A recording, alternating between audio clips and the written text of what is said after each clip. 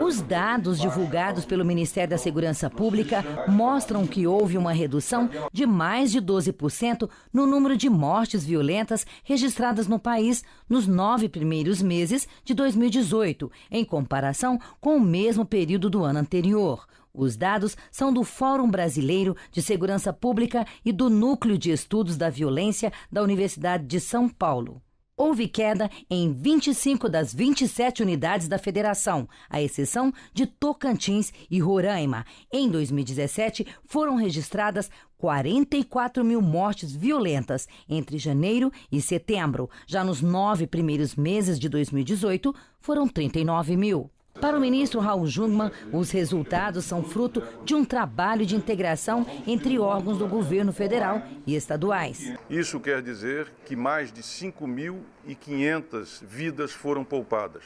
É a maior redução de homicídios em escala nacional que se tem registro até hoje. Isso quer dizer que nós estamos no rumo certo.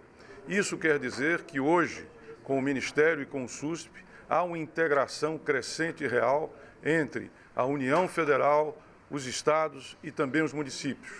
Há hoje, sem sombra de dúvida, também uma integração em termos de inteligência, em termos de operações.